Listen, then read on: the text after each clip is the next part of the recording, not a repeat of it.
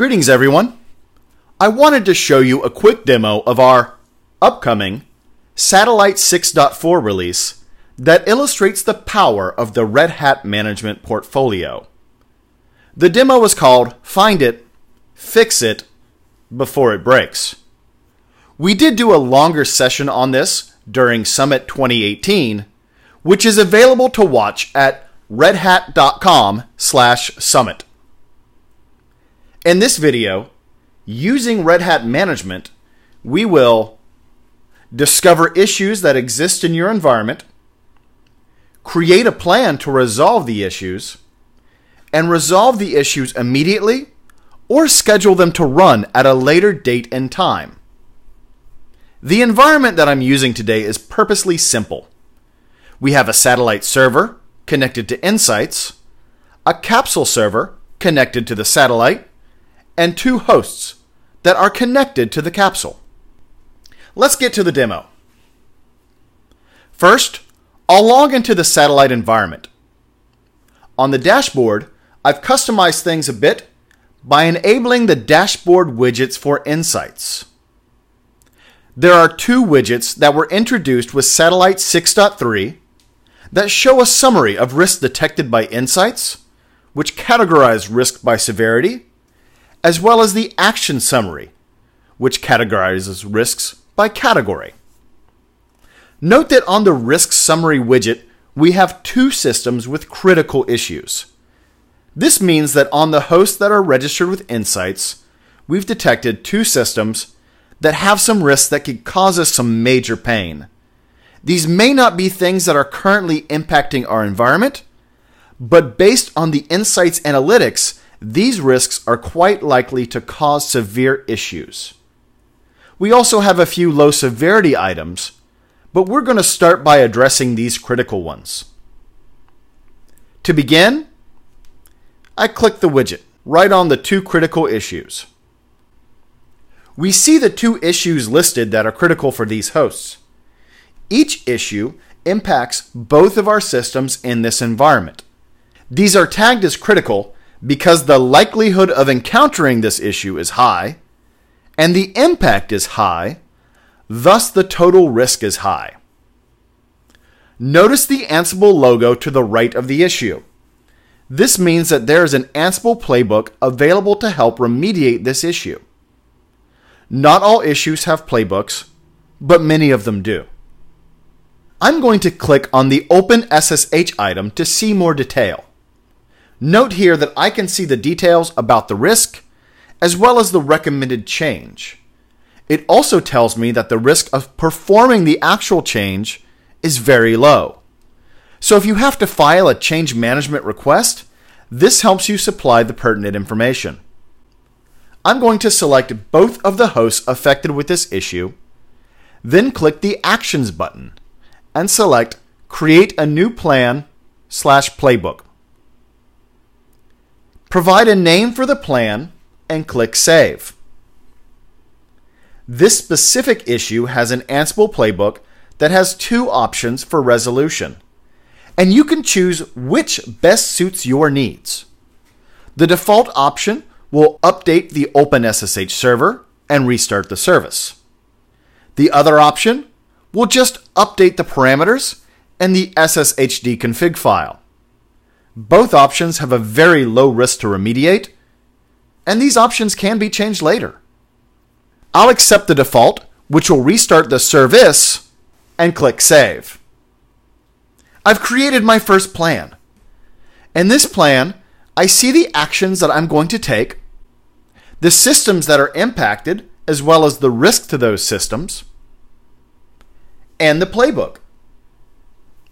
Note that the playbook includes the risk of change and a system reboot summary.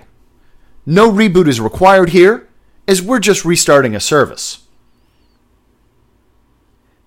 If you recall, we had two critical issues we needed to address on these systems. Rather than repeating all these simple steps, I'm just going to click the Add Actions button to add another action to this plan.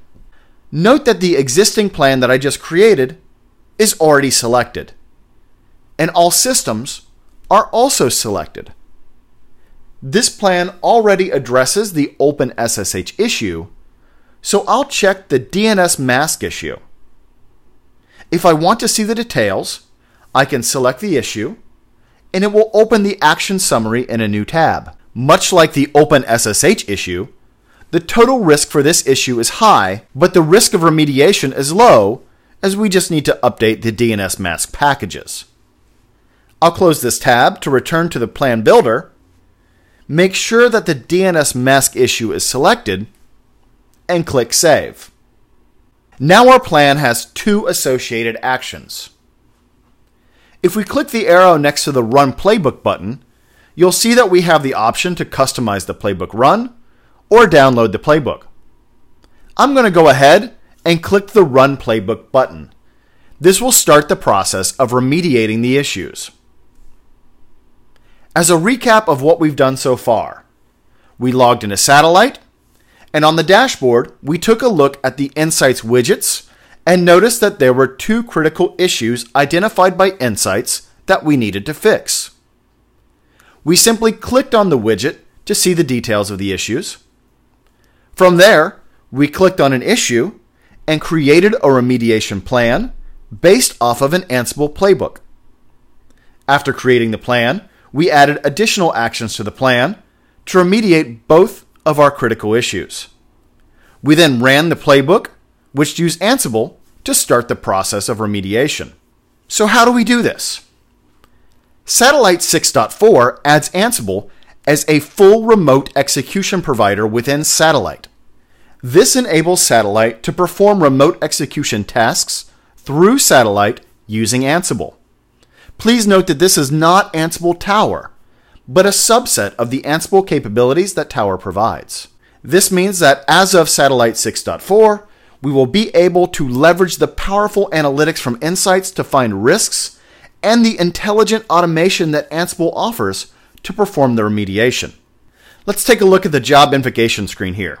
While I've been talking, the remediation has been running.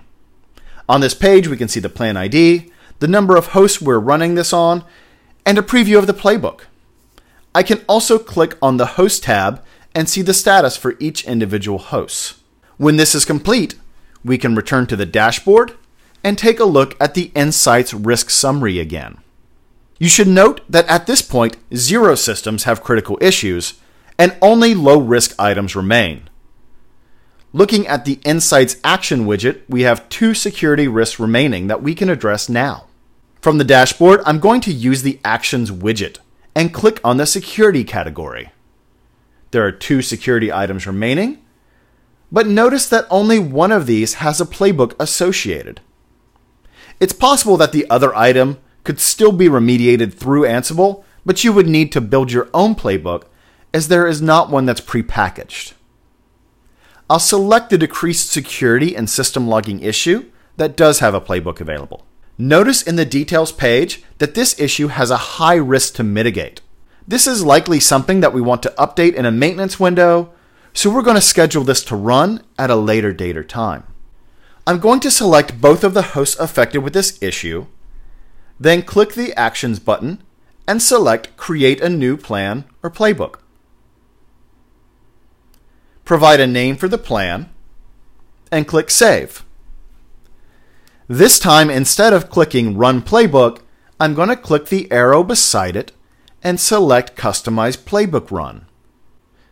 On the job invocation page at the bottom, notice that we have the Schedule option, which includes Execute Now, which is the default, Scheduled Future Execution, or Set up Recurring Execution. I'll select Schedule Future Execution, enter a start date and time, then click Submit. Thanks to the magic of video, we can speed up time a bit. The remediation begins at the scheduled date and time.